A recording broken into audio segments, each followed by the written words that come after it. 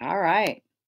We are live. Welcome to Pure Dog Talks live at 5.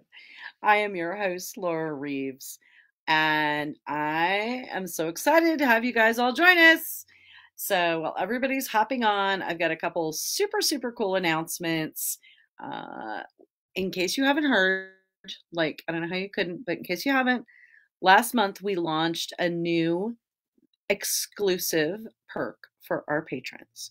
Pure Pep Talk is a weekly text message with an upbeat, fun, educational tidbit. And you can sign up for the patrons group and the Pep Talk messages for as little as $5 a month. Okay, now currently Natalie's yelling at me for telling you that, but I'm saying. I mean, that's less than a I don't know, frappa at your favorite coffee stand, right? For a whole month. And you get a lot of other stuff that goes with that patrons access. We've streamlined a lot of the offerings for the patrons, made a new patrons group, and we've grown our existing all access patrons group to a community network of judges, breeders, experts, exhibitors, all with the same goal. Your passion is our purpose. Next up, if you haven't had a chance to check out the ebook, audiobook download offering, How to Stack Your Dog is part of it, the link in the chat will take you there. A great option to share with your puppy buyers, your friends that are looking for a well-bred, pure purebred dog, etc. And oh yeah, yeah, PPS swag. New items just released on the swag store. Link in the comments so you can wow your friends at your next event. So, summer's over. We're moving on. We're in October. It's Love the Breeds month here at Pure Dog Talk. And today we're sharing some of our favorite breeds.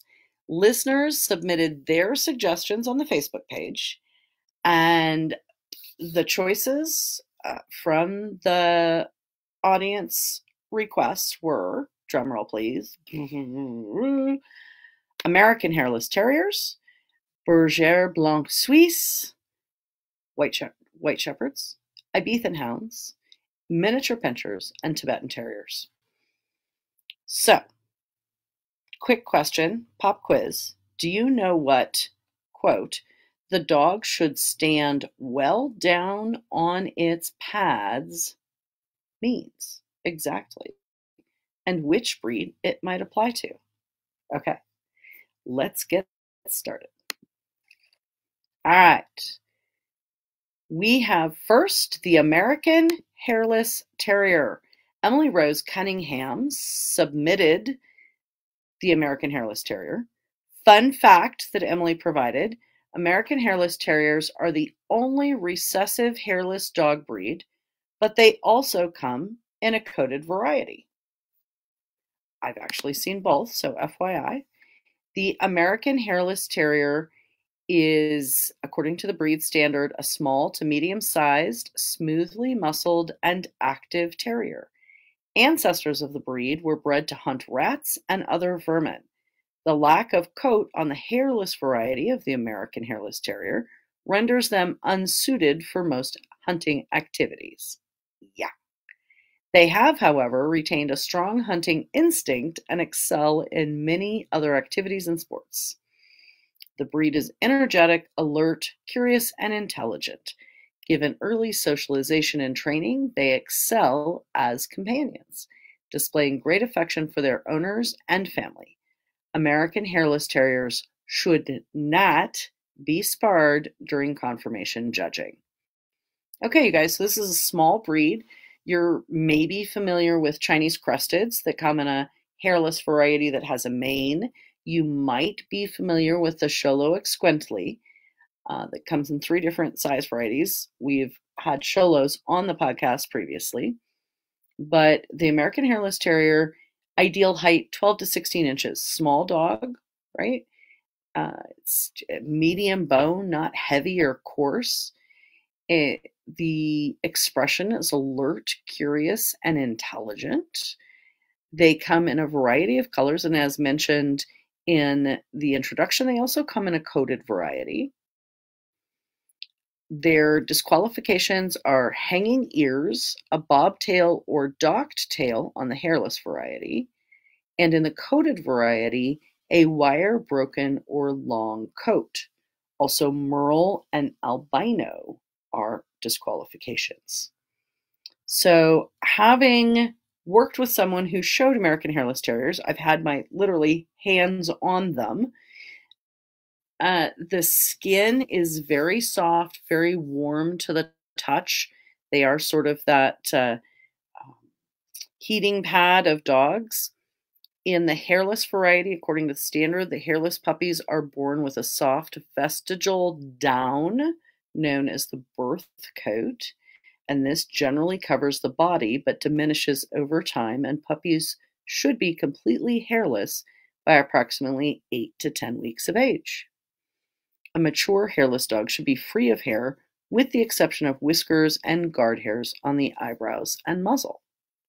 So there you go very, very cool information about a breed that many people don't know very much about the American Hairless Terrier. Next up is the Berger Blanc Suisse, and we will have a photo of that available, hopefully, shortly. There we go. So, according to our people who actually submitted these, uh, breeds, this was submitted by Eli Sandberg, and the Berger Blanc Suisse is an FCI breed, white Swiss Shepherd, in the United Kennel Club, UKC here in the States. It's uh, known as the White Shepherd. The fun fact that Eli submitted the white Swiss Shepherd originates from the German Shepherd dog. For almost a century, there was little discerning between the German Shepherd and the White Shepherd. Then, in the 1930s, the white-colored dog was removed from the shepherd breeding and almost became extinct. By the 1960s, the white shepherd had made a comeback, and in the US and Canada, it was distinguished as a separate breed. In the early 1970s, some of these dogs were sent to Switzerland, where they prospered and multiplied. The new white Swiss Shepherd breed was added to the Swiss Stud Book in 1991 and in 2017, uh, 2017, the Kennel Club of the United Kingdom officially recognized the breed as well. So now if we go to the FCI standard for the breed, it tells us that in the USA and Canada, the White Shepherd dogs have gradually become to be accepted as a distinct breed. This is the FCI standard, you guys. There's no AKC standard currently for the breed. the first dogs of this breed were imported to Switzerland in the early 70s. The American male Lobo, whelped on 5th of March 1966, can be considered as the progenitor of the breed in Switzerland. The descendants of this male registered with the Swiss stud book and other white shepherd dogs imported from the USA and Canada gradually multiplied. There now exists a big number of purebred over several generations. Uh, these dogs have been registered as a new breed in the appendix of the Swiss Stud Book since June of 1991. Their general appearance is described as a powerful, well-muscled, medium-sized white shepherd dog with erect ears, double coat, which is either of medium length or long, elongated shape, medium-sized bone, and elegant, harmonious outline. It's a rectangular breed that is lively and balanced, enjoys action, attentive with good ability to be trained. They are friendly and discreet, high social competence, and devoted to his owner. I like high social competence. That's a great phrase. Never afraid or aggressive without provocation, joyful and easy to teach, uh, capability, has capability for all round education. So that is the Berger Blanc Suisse, also described as, I'm trying to get to a size, you guys, give me a, give me half a second. Here we go. Oh, it's in centimeters. I don't know, 58 to 66 centimeters for males, 53 to 61 centimeters for females. Somebody out there that does metrics, help me out. Um, and they are disqualified for being aggressive or overly shy, having high anxiety, or having blue eyes. So they should also have dark pigment on their nose and eye rims. So very, very interesting breed. Um, let's see if I've got somebody in the chat that's going to tell me. Barge, Barget? Is, you're saying Barget, Cindy, rather than Berger? Okay. Barget Blanc Suisse. Thank you, Cindy. Our next breed up is going to be, I believe, the Ibizan Hound. Is that our next breed up? I think it is. Um, this, the Ibizan Hound was submitted for consideration by Mackenzie Ferguson. And for a fun fact, she added that they aren't true sight hounds. And if you guys listen to the podcast with my friend, uh, Whippet breeder Bo Bengtson, you'll remember he agrees with that. and this um, okay, so 65 centimeters is 25 inches for people wondering about the size of the Barget Blanc Suisse. I've been corrected on my pronunciation. Thank you all. Um, yeah, I thought it was Berger. Okay, Berger. Very good. So, moving on. Ibizan Hound. This dog right here is my own personal dog. This was Keeper when they said they wanted to feature Ibizan hounds, I absolutely jumped at the opportunity. Um, Ibizan hounds come in two coat varieties. This is the wire coated variety. So, in addition, that's an additional fun fact. Many people are used to seeing only the smooth coated Ibizan hound. This is a wire coated Ibizan hound. The Ibizan hound uh, was developed on the Iberian Peninsula in Spain. They are a rabbit hunting dog. Um, from the standard, it says they're a hunting dog whose quarry is primarily rabbits. This ancient hound was bred for thousands of years, with function being of prime importance. Lithe and racy, the Ibizan possesses a deer like elegance combined with the power of a hunter. Strong without appearing heavily muscled, the Ibizan hound is a hound of uh, moderation. With the exception of the ears, he should not appear extreme or exaggerated. In the field, the Ibizan Hound is as fast as top coursing breeds and without equal in agility, high jumping, and broad jumping ability. He is able to spring to great heights from a standstill. And trust me when I tell you, this is entirely true. That dog, Keeper, could clear a 48 inch X pen from a standing position. Just boing, they also have a fabulously unique hunting style.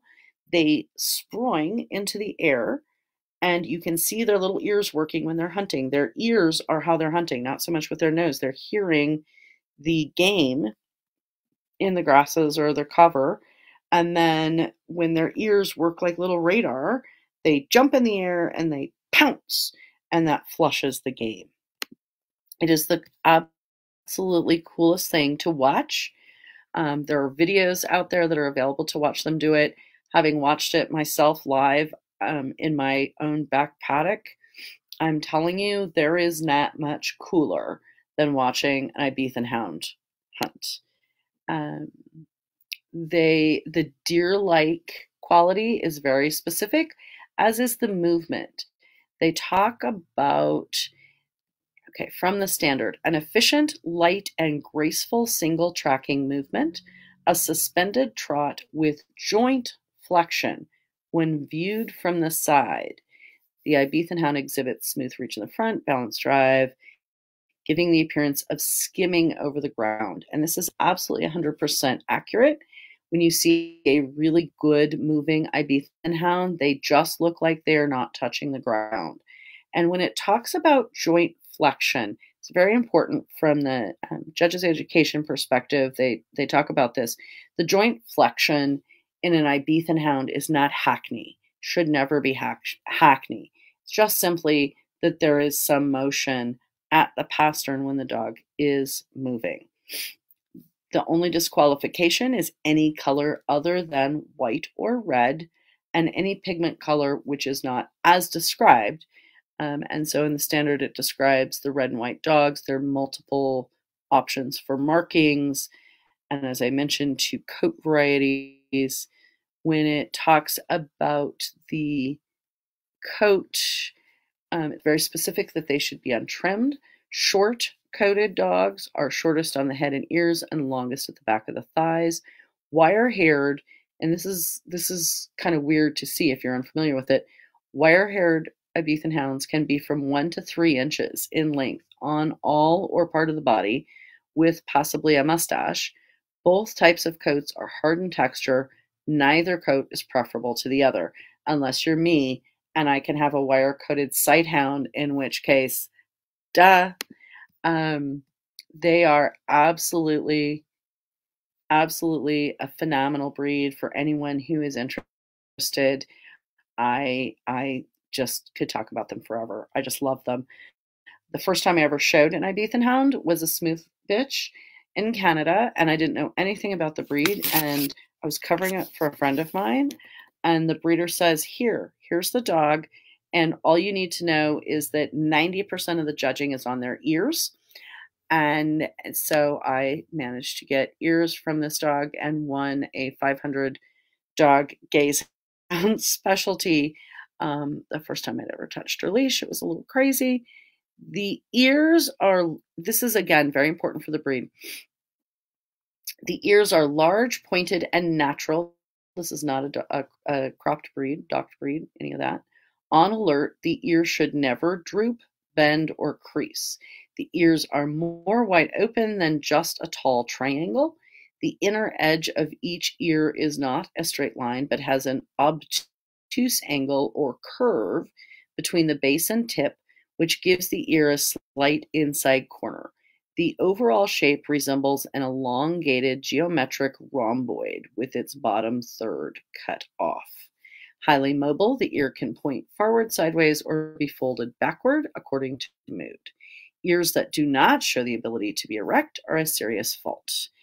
Um, so when I say that ears are so much a hallmark of the breed, they absolutely are. Um, so yeah, so that is our story about Ibizan hounds. Keep in mind if you guys if you guys have additional breeds that you would like to hear about, you can drop them in the comments.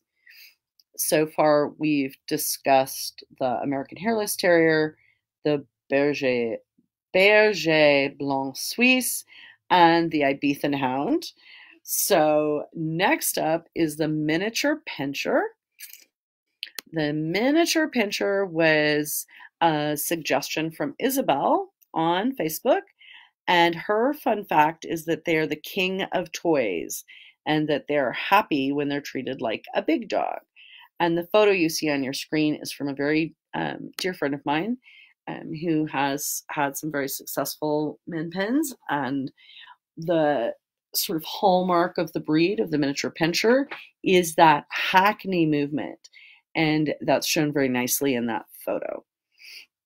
So according to the standard, the miniature pinscher is structurally balanced, sturdy, compact, short-coupled, smooth-coated dog, naturally proud, vigorous, and alert. Char characteristic traits are his hackney-like action, fearless animation, complete self-possession, and spirited presence. Um, they are a, a lovely toy breed, 10 to 12 and a half inches in height. Qualification under 10 inches or over 12 and a half inches. So they're a good little breed. Uh, the ears are set high, standing erect from base to tip, may be cropped or uncropped. They are a docked breed. In the standard tail, it says the tail is set high, held erect, docked in proportion to the size of the dog. Let's go to movement because this is so much a characteristic. The forelegs and hind legs move parallel, with feet turning neither in nor out. The hackney like action is a high stepping, reaching, free and easy gait in which the front leg moves straight forward and in front of the body, and the foot bends at the wrist.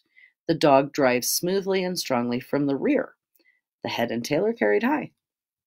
The temperament is described as fearless animation, complete self possession, and spirited presence. The two colors are red and black and tan. Let me just verify that. Solid clear red, stag red, black with sharply defined rust red markings on cheeks. Uh, chocolate, there we go. Chocolate with rust red markings. Um, disqualifications, any color other than listed. Thumb mark, patch of black hair surrounded by rust on the front of the forelegs between the foot and the wrist. On chocolates, the patch is chocolate hair. White on any part of the dog, which exceeds one half inch in its longest dimensions.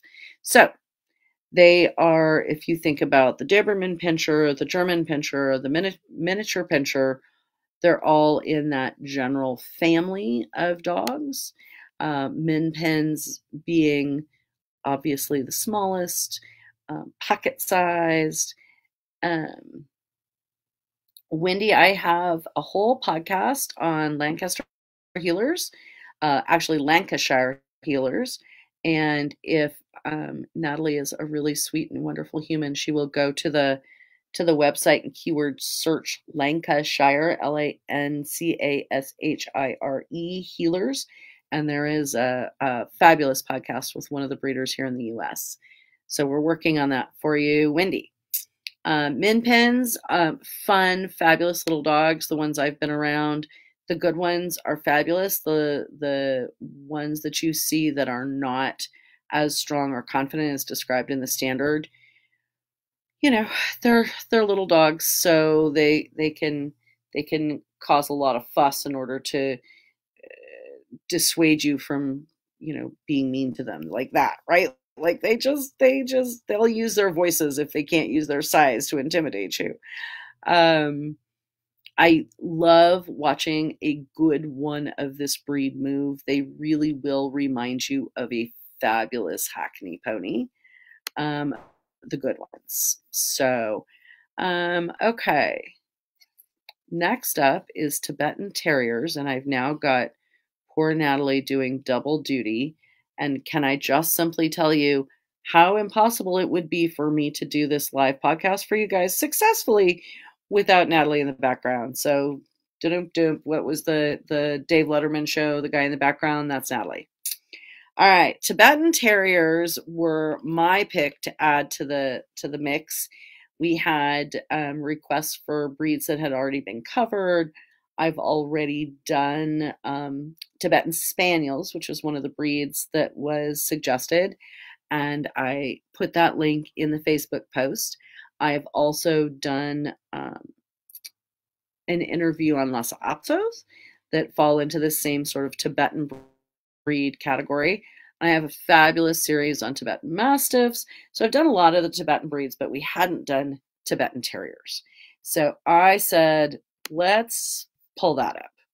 So I went, it's a breed I showed a couple of. I'm not a, a specialist in this breed by any stretch, but they're a fascinating breed to me.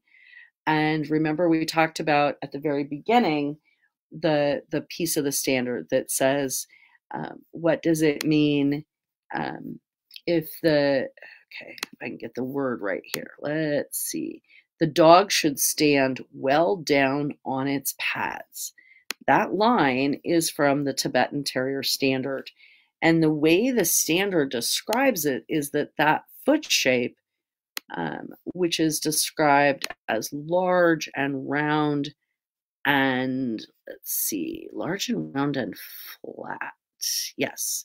The feet are large, flat, and round in shape, producing a snowshoe effect that provides traction. The pads are thick and strong. So when you examine a Tibetan Terrier, the judge is supposed to feel the toes of the dog, and they're not really supposed to be arched like you think of most dogs' feet. They are supposed to be flat. They are not supposed to be splayed out. The toes are still tight. It's just that the pads are flat. And that's what it means when it says the dog should stand well down on its pads. And from the opening paragraph of the standard, it says that the Tibetan Terrier evolved over many centuries, surviving in Tibet's extreme climate and difficult terrain. The breed developed a protective double coat, compact size, unique foot construction, and great agility.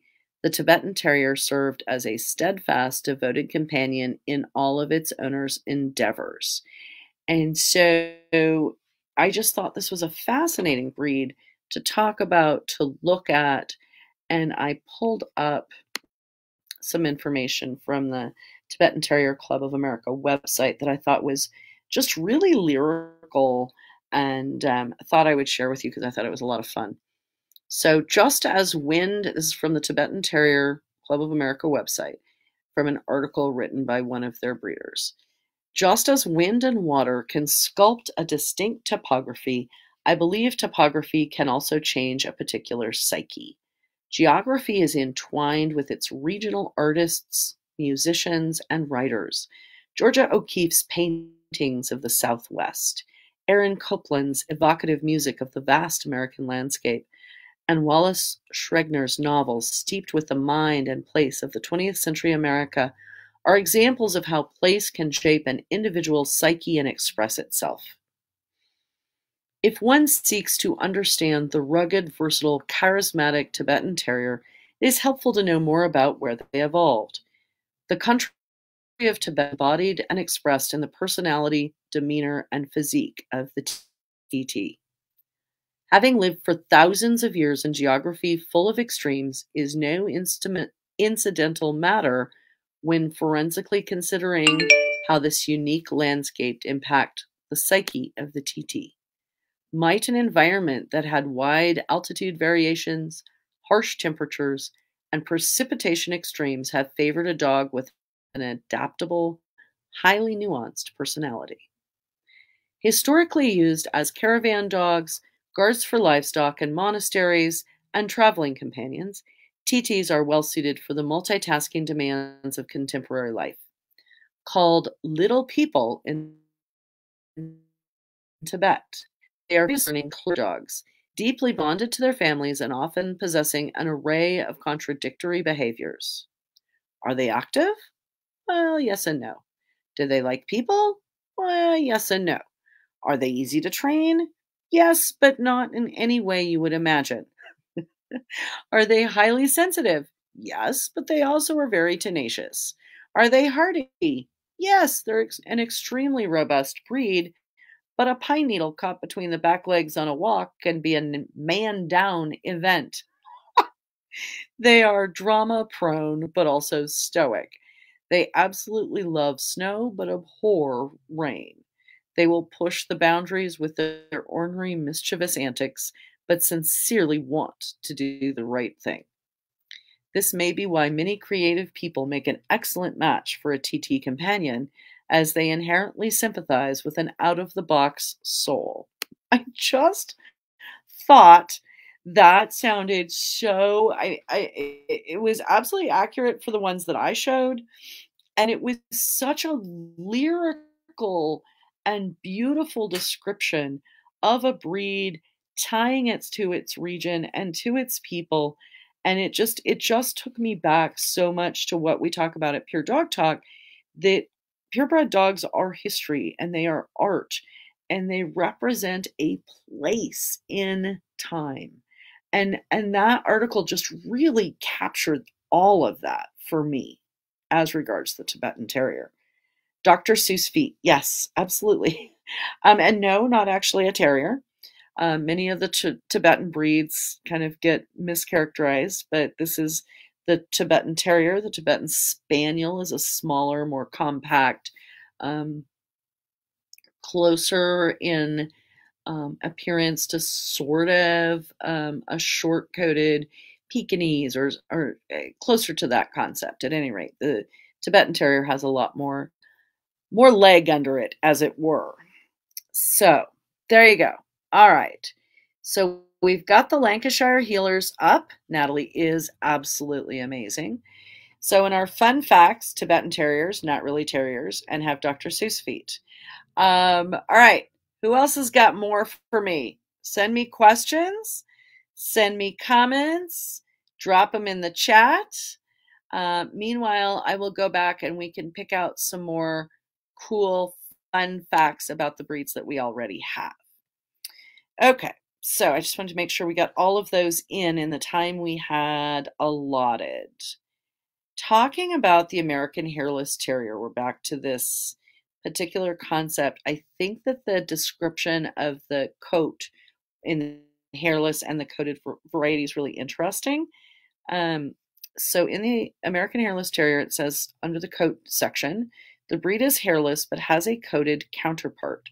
The coated dog is covered with a short, smooth, dense coat that has a sheen. Whiskers are not removed.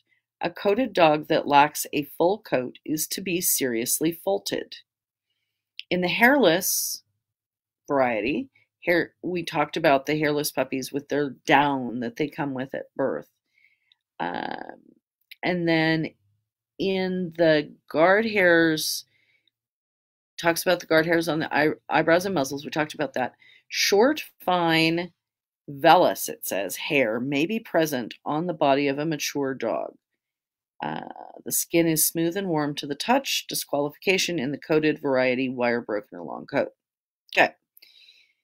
So there is an interesting um, history of this breed, and I'm going to see if I can pull up the breed standard so I get it right. But my understanding is there is a direct connection to the rat terrier. Um, and so I want to see if Emily's on here and she can get to it before I do. But I'm going to try and get to the to the National Club site and see if we can get to the history here. You guys know that this is one of the best ways to learn about your breeds is trying to get to the actual National Club website and see the pictures and see about all of the history and all of the information that goes with the breed. All right, and of course, doesn't give me what I was looking for. Okay, here we go. American Hairless Terrier originated in the south of the U.S., so it's a native son breed to the U.S. as a natural variation. That's what I thought. Okay, I wasn't wrong. As a natural variation of the Rat Terrier. This completely hairless dog is a lively, intelligent, and friendly companion that is often the perfect answer for those with allergies. The breeding of the American Hairless Terriers began in earnest in the early 1970s when a hairless puppy was born into a litter of mid sized rat terriers. This was not the first hairless puppy born to these parents, but it was the first to be given to a couple in Louisiana, Edwin and Willie Scott, who immediately fell in love with this female puppy and named her Josephine. Josephine became the foundation for the American Hairless Terrier breed. The AHT is well known for its propensity for fewer allergic reactions than other breeds, allowing them into homes once denied. This combined with their intelligence and ease of care make them perfect companions while maintaining the drive to excel in performance events. 12 to 16 inches tall at the shoulders, so we said that. And here um, we talked about the hairless and the coated variety. Um, the coated, oh, this is a great little tidbit. The coated variety is lovingly called the coated carrier by the AHT fanciers. Although it is fully coated, it carries the hairless gene. A coated dog that lacks a full coat is to be uh, seriously faulted. So there you go. How cool is that? I knew I knew that I knew something about hairless terriers. Okay, so Eli, we showed a picture of your dog and your breed. If you drop it in the chat, you can share some more interesting factoids that you would like to have us share on with the rest of the group. Um, I think it's really interesting that this particular shepherd breed calls for the back to be level and firm. There, we don't see any of the um, special three point stand that we see with the German Shepherd dog or any of that particular thing. Um, tail is a bushy saber. Uh, so, very much similar to a lot of the sh- uh, shepherds in that basic concept. Uh, just running through the breed standard for anything else. Rhythmical sequences of steps with even drive and enduring Front legs reaching out far with strong thrust. Trot is ground covering and easy. This is the gait section from the FCI standard. So here's another one I think is interesting when we offer two different coat varieties. So it's another one with that. The um, White Shepherd medium length coat, dense, close lying double coat, abundant undercoat covered with hard, straight, protective hair, face, ears, and front of legs covered with shorter hair, neck and the back of the legs, the coat is slightly longer, slightly wavy, hard hair is permitted.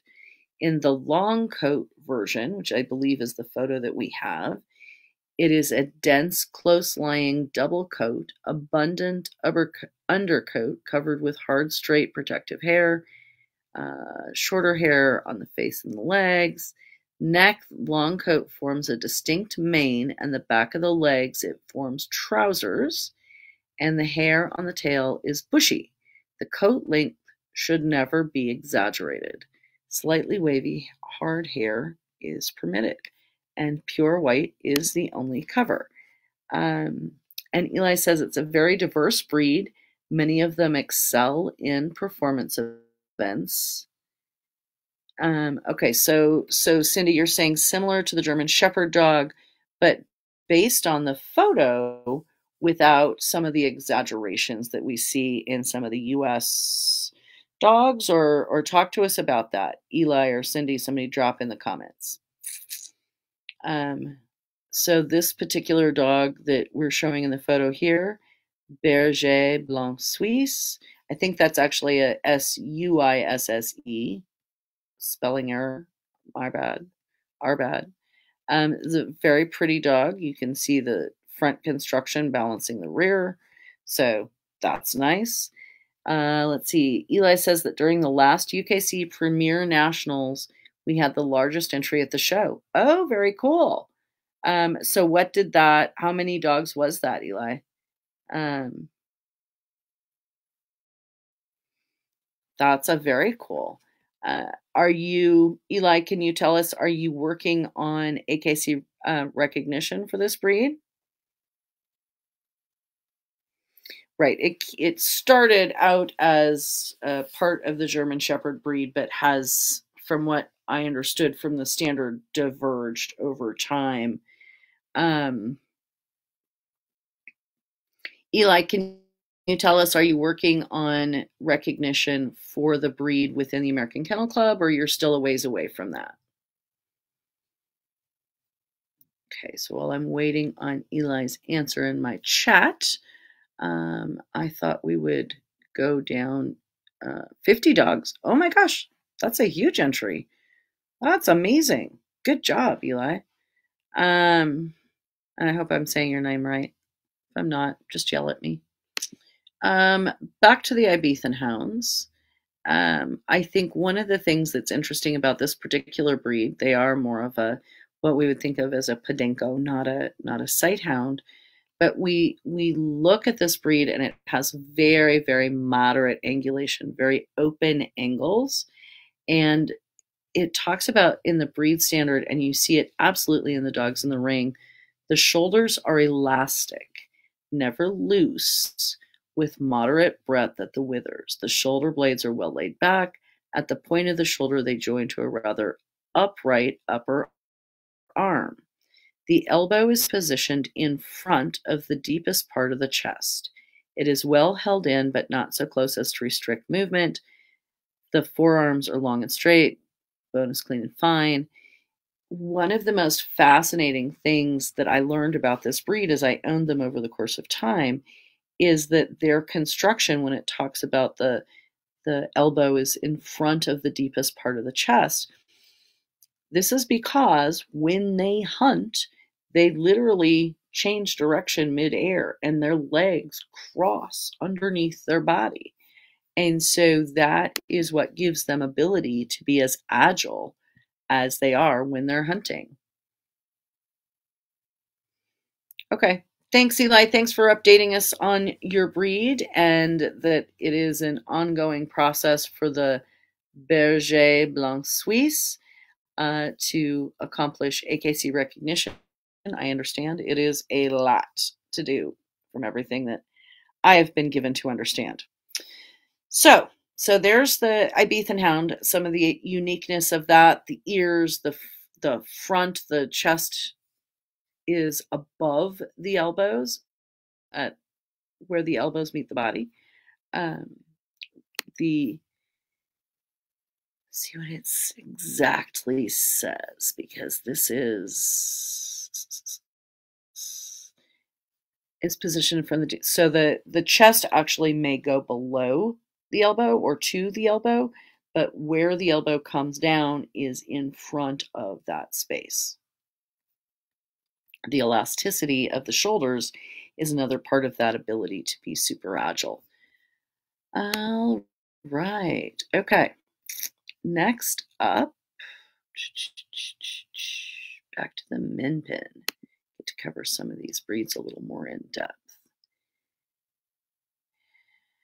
So when we look at the head, and I think this is really, really interesting because you have the miniature pinscher, you have the Chihuahua, you have the toy Manchester Terrier, and each of them has a very specific head construction even though they're all toy breeds, short coated in the case of a smooth coat Chihuahua, but the heads are very distinct and should tell you exactly which breed you're looking at.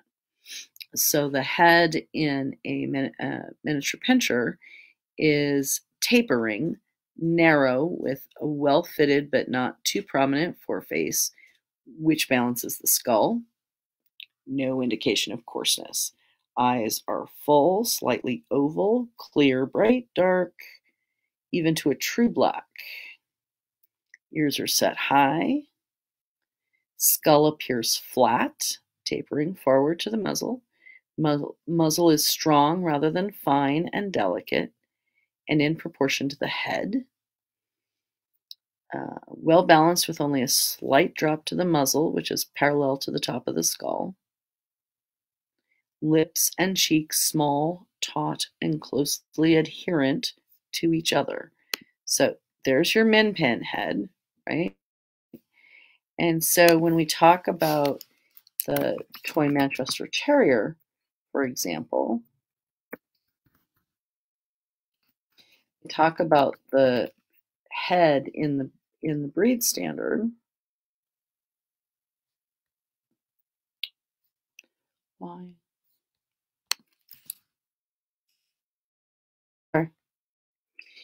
Making my computer do things while I'm talking is not always all that easy. So, a toy Manchester Terrier is not to exceed 12 pounds. And if you have a dog that you believe exceeds that, you weigh it. If it does exceed that, it may compete as a standard Manchester Terrier. Um, the head is described as keen and alert expression, almond shaped, nearly black eyes, moderately close together, slanting upwards on the outside. The eyes neither protrude nor sink in the skull. Correct ears for the toy variety are at the base, tapering to a pointed tip, very well up on the skull. Head is long, narrow, tight skinned, and almost flat. Indentation of the forehead, blunted wet. Uh, muzzle is well filled under the eyes, under jaws full. So you can see there are really distinct differences in these breed standards. And when we talk about identifying breed type, breed type is what makes it a miniature pinscher and not a toy Manchester Terrier or smoothcoat Chihuahua. So it's all of those pieces taken together. So the head type on the Min Pin, the Hackney movement, all of those things are what make it identifiably what it is. Okay, who else has a breed? Cindy, you're here. Let's talk, talk about Berger Picard. Let's see. If you want to drop a, a picture of your breed in the comments on Facebook, I can pull up the breed standard here and we can go through it simply because you're here and that's what we get to do. Um, I love wire coated things. I told you I had to have a wire coated hound. Well, here we have the wire coated herding dog in addition to the Laekenois. About what we've got. When we're talking about the Berger Picard, uh, it's an ancient breed developed by the farmers and sheep herders of the Picardy region of northern France. They're medium sized, sturdily built, and well muscled. Without being bulky, they're slightly longer than tall, distinctive, erect, natural ears, with a wiry coat of moderate length. Have a tail that reaches to the hock and ends in a J hook. Very important piece of the breed, sort of characteristic. Movement is free and easy, efficient and tireless to allow them to work all day, lively and alert, observant, quietly confident, aloof with strangers, but should not be timid or nervous. This is a rustic working shepherd's dog without exaggeration or refinement. All right, Cindy, give me I've got the standard. I need a fun fact. Give me a fun fact on the Berger Picard. Besides that, I think they're really adorable. Um, let's see. There was something. Having read the standard, I have to go back and find it. That I can't. Okay.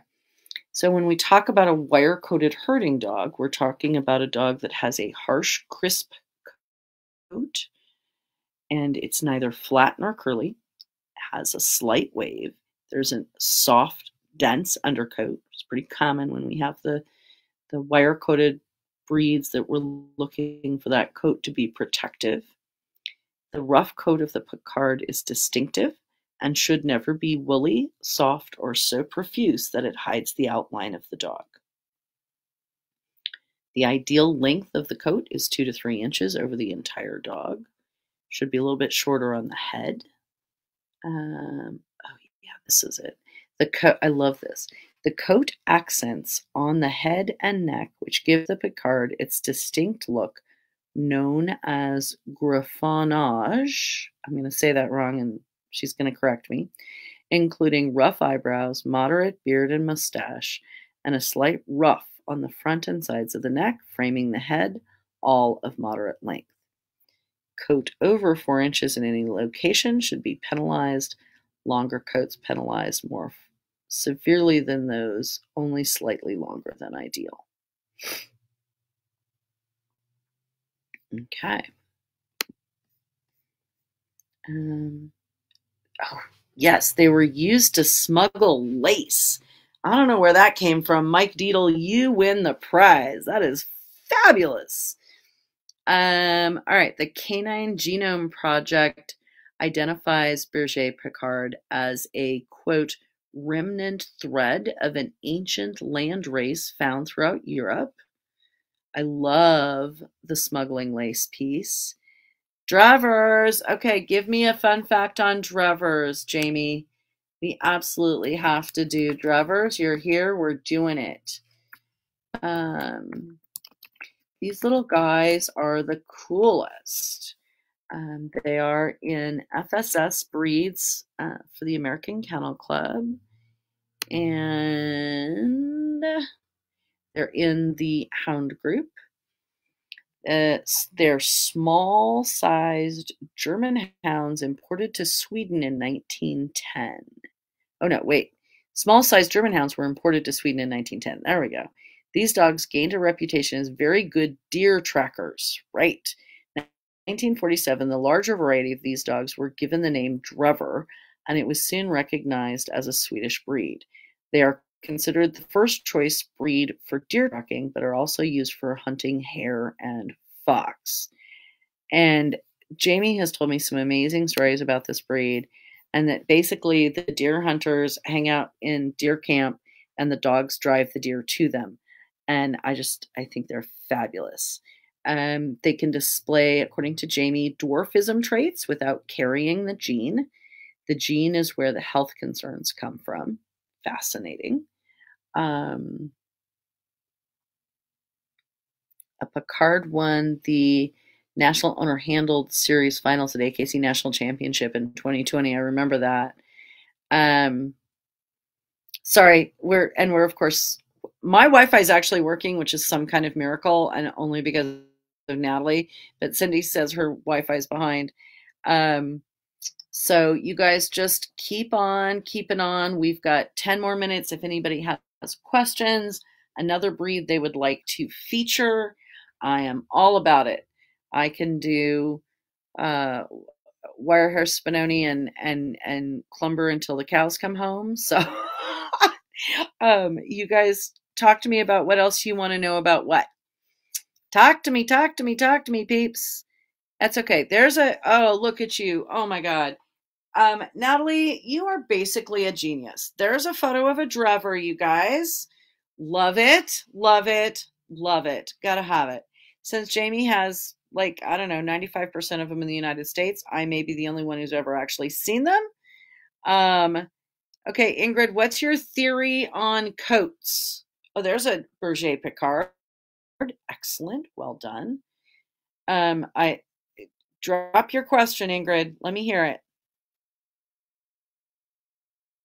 Look at those cute faces on the Picards. Don't they just look like little little elves? They're just adorable. Okay, anybody else with questions while we're waiting for Ingrid to submit her theory? Um,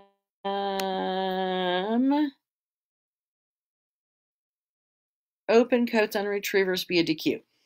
Okay, so if we're talking about Labrador retrievers, um, the standard's pretty specific about what the coat can and cannot be um, but I don't know that it DQs an open coat.